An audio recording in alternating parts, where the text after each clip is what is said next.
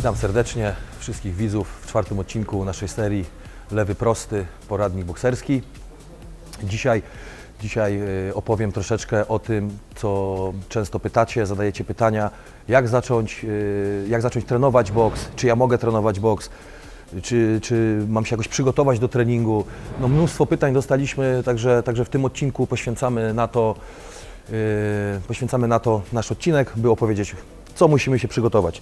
Najprościej, w skrócie mogę powiedzieć tak, jeśli chcemy zacząć trenować boks, to nie musimy się do tego w ogóle przygotowywać. No bo zakładam, że jeśli się pytacie, czy chcecie, że chcecie zacząć trenować, no to żeście go nigdy nie trenowali, więc ciężko się przygotować do czegoś, czego się po prostu nigdy nie trenowało i się tego nie zna.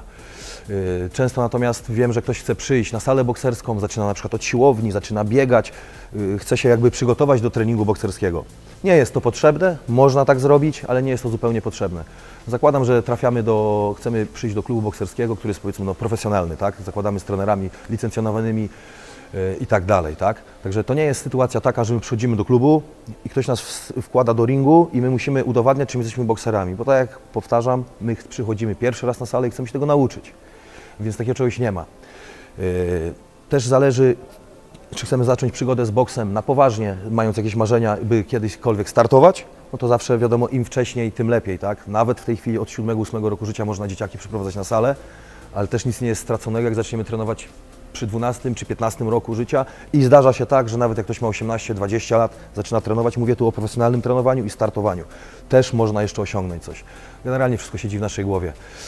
Yy, Natomiast 90% ludzi, którzy przychodzą na salę, to są ludzie, którzy trenują rekreacyjnie boks.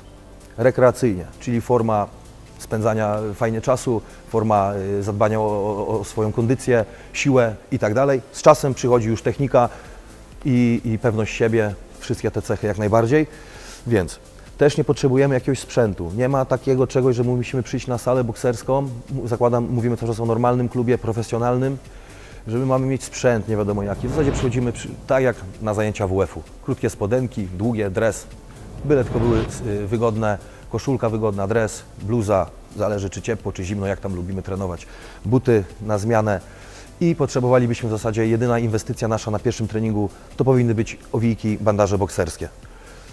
Wiadomo, można by też mieć rękawice, ale też nie wiemy, czy nam się to spodoba, nie spodoba. Zakładamy, że spodoba, ale lepiej przyjść na salę treningową, zrobić jeden trening, porozmawiać z trenerem.